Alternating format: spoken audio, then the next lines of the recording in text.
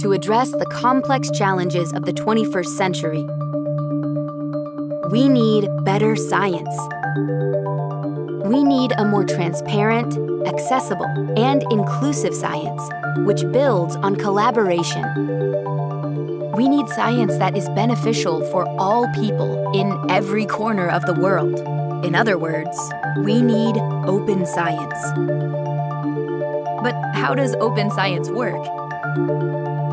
With open science, scientists and engineers use open licenses to share their publications, data, educational materials, software, and even hardware more widely. They can share research infrastructure too, and make data, archives, and research equipment more accessible. Through open science, innovators, students, and other community members can collaborate with scientists on research, ranging from biology to astronomy, to bridge the gap between society and science. By opening traditional science to other knowledge systems, science can be enriched by exchanges with indigenous and marginalized groups for the benefit of all.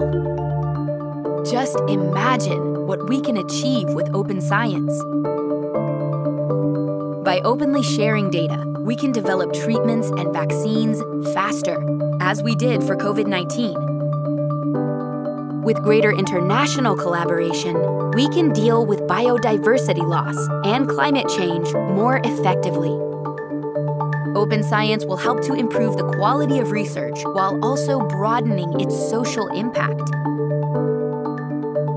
Yet today, the benefits of science are still only available to a minority. Most scientific knowledge is stored behind paywalls, excluding those who cannot afford to pay for access. Imagine that you are a doctor, but you don't have access to the most recent methods of saving lives.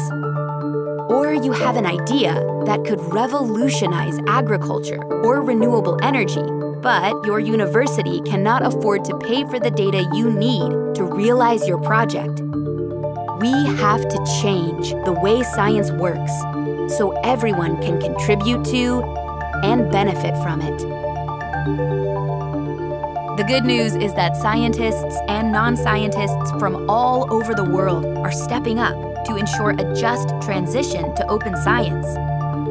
Many have joined UNESCO in developing the first international recommendation on open science.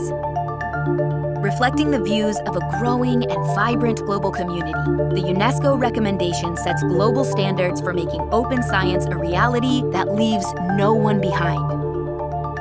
Now it's your turn to support the movement and make sure that science is accessible to all with benefits for all.